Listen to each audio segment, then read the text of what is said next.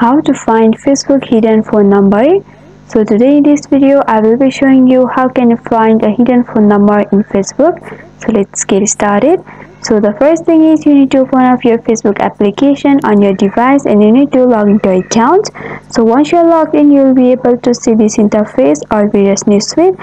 So in order to find a phone number of someone, first you need to select the person of whom you want to find the phone number. For that you can tap on the search bar in the right upper corner and you can search for the profile of the person. Once you open up you will be able to see the profile over here like this so when you scroll a little bit you will be able to see the details of the person under which there is the person's profile and see about info. Simply tap on see about info and you will be opened up to the various options among which you will be able to see the basic info. So on the basic info there will be the phone number of the person. But if the person has hidden the phone number then it won't be available over here. But still you can make a call to the person. For that you need to be friend with that person.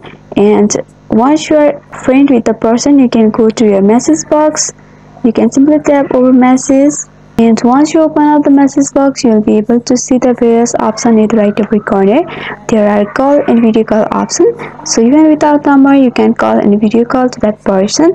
And you can also ask for their number. So this is how you do. So i hope this video was helpful.